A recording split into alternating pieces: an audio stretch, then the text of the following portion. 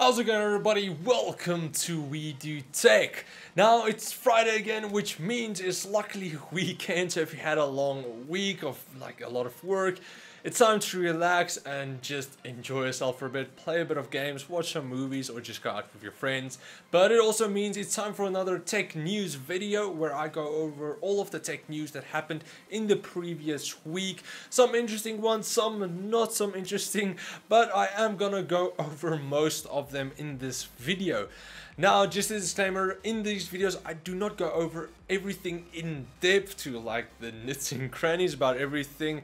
It's mostly a summary of most of the topics. So if you guys want to read up a bit more about the topics that I mentioned in these videos, please just follow the links in the video description where you can go read up on the full entire topic and just uh, learn a bit more. So with all of that being said, uh, let's get into the tech news video uh, right after this. Do you live in South Africa and want to get yourself some awesome new gaming products? Well, go check out Rebel Tech. They have extremely low prices and they stock all the major brands like ASUS, MSI, Gigabyte, Corsair and many more.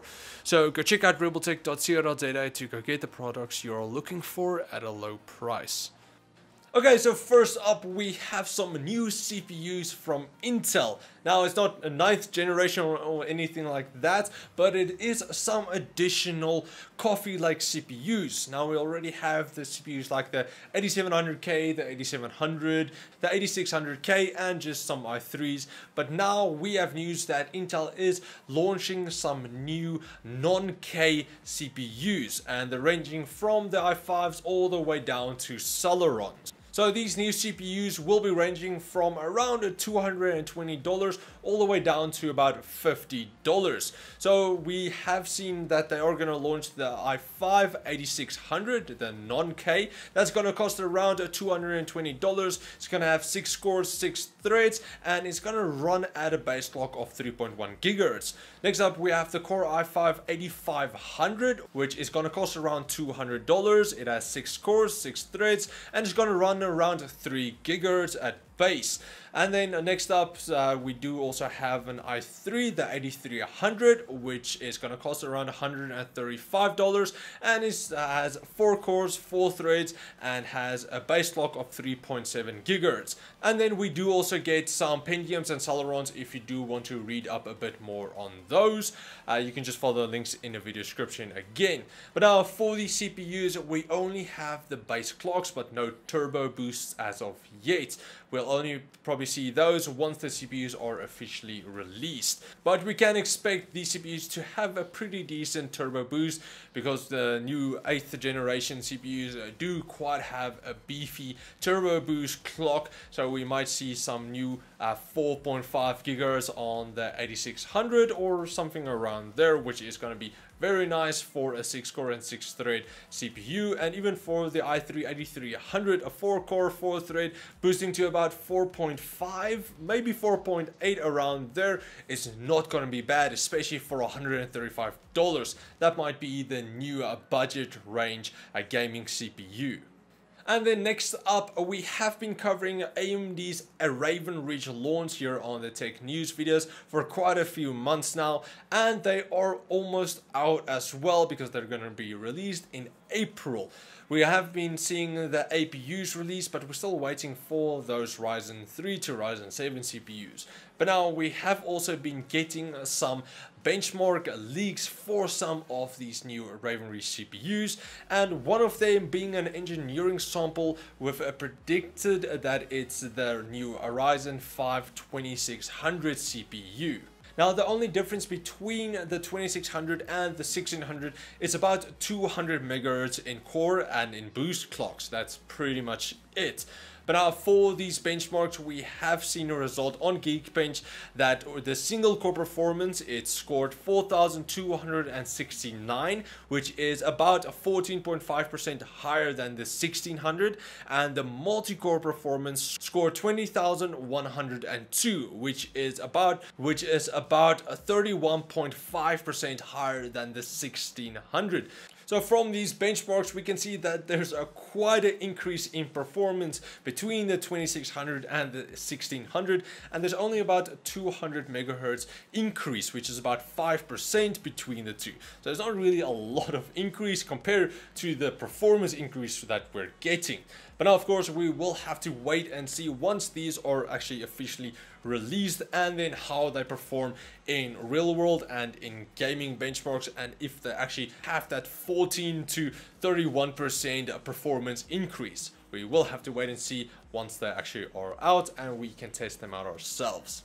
And then next up, Earlier this week, Tesla, as most of you guys know, with the electric car company and everything cool electric, has actually been hacked.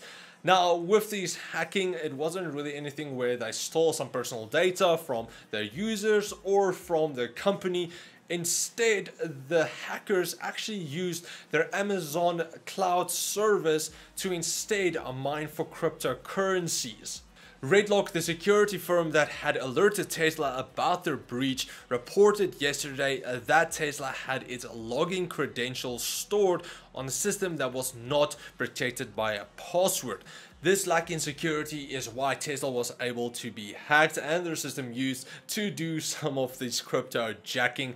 Now, after a few hours, uh, Tesla did sort it out completely and they did confirm that no user information was leaked at all. It was just their CPUs being used to mine. So don't worry about that if you own a Tesla or you have anything with Tesla. It's completely fine. Now, this is not the first time that a big company like this has actually been used and hacked for crypto jacking. This has been uh, happening a few times now. We've seen Starbucks Wi-Fi uh, doing the same. We've seen some ads on YouTube even that if you watch the ad, it's going to run the crypto jacking script and use your CPU to mine cryptocurrencies in that uh, duration of the ad. And then of course, the probably the biggest crypto jack that has happened so far is where a bunch of government websites was infected by this crypto jacking plugin where it was installed on thousands of websites where all of the people who viewed the website was being cryptojacked to use the CPUs to mine for Monero. So it's not the first time and it probably won't be the last as well. So if you do go onto a website and you feel that your computer is slowing down massively, open up your task manager just to see what your CPU usage is at and if so just close that tab completely and you can even report that uh, to the website publisher as well. And then next up just some few topics that i'm gonna go over. One person bought 400 million dollars worth of bitcoin. Now this was back in february 6 where it cost about $6000 per bitcoin. So if you calculate that that's about 41 thousand bitcoins that that person bought. And now, of course, it's back over $10,000 again for a Bitcoin, which if you calculate that, that's about 66% increase, which is $264 million that he already made back. So that's quite an increase. And if we see that it's going to go over $12,000, he made 100% of his investment back, which is really crazy. Then along with that, last week at the International Solid State Circuit Conference in San Francisco, Intel unveiled its plans for a new prototype discrete GPU. Now this new GPU is going to run on the 14 nanometer process and it's going to have 1.5 billion transistors and it is going to clock around 50 to 400 megahertz with a turbo boost double that.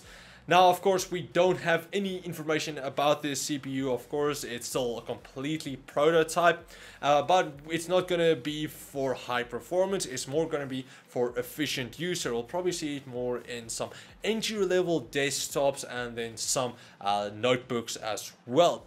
So once they are actually uh, released, I'll give you some more information, but for now, that's all we have. Then next up, uh, Microsoft is releasing their new Spring Creators update, which is mostly more focused toward workstation uses. So this new Creators update is more focused for Windows 10 Pro workstations with a new power mode that is called Ultimate Power Mode that will add a higher priority on performance. Now, because of this, we're not really going to see this mode on battery power systems like notebooks or some smaller all-in-ones. Uh, it's not going to be worth it for the, for the power usage, so we'll most likely not be able to see those uh, this mode on those. And then along with that, we will also see none of these gaming and non-related applications that we get pre-installed with Windows on Windows 10 Pro and then Windows 10 Enterprise systems as well. For those, we're going to see a more workstation focused applications and not any of these useless crapware applications that we get on our systems now. And then for the last topic, if you guys are watching my few of my streams or you are one of the millions people who are playing Fortnite, the new season 3 has been released with some new updates to the game. So first up we have turbo building which allows you to hold down your primary fire and uh, add continuous placing for your building pieces. So you don't have to click the entire time if you want to place something on the ground. Then we also get auto change materials where if you build and you run out of resources it's going to automatically switch to your next available resource which is going to be very handy uh, if you do run out of a lot of your resources very quickly. And then next up, a very, very handy feature that added is that you are able to build through stuff. So if there's a log on the ground or a tree in your way, usually you could not have placed your building material there.